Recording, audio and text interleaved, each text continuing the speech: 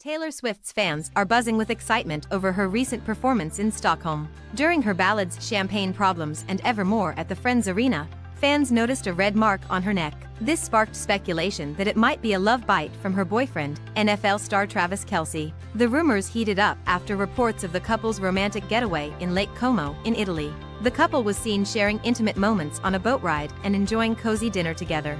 Fans quickly connected the dots, recalling Taylor's lyrics like I feel so high school and the mark they saw on my collarbone. Social media exploded with theories and excited chatter. Swifties zoomed in on photos and shared their thoughts, making the possible love bite a trending topic. Taylor is currently in Stockholm, continuing her Eras tour. Meanwhile, Travis has returned to Kansas to host the Kelce Jam concert, featuring big names like Lil Wayne and 2 Chainz. Their busy schedules haven't kept them from enjoying romantic moments, much to the delight of fans. Whether it's through her music or their public appearances, Taylor and Travis continue to capture everyone's attention. Stay tuned for more updates and gossip about this exciting couple.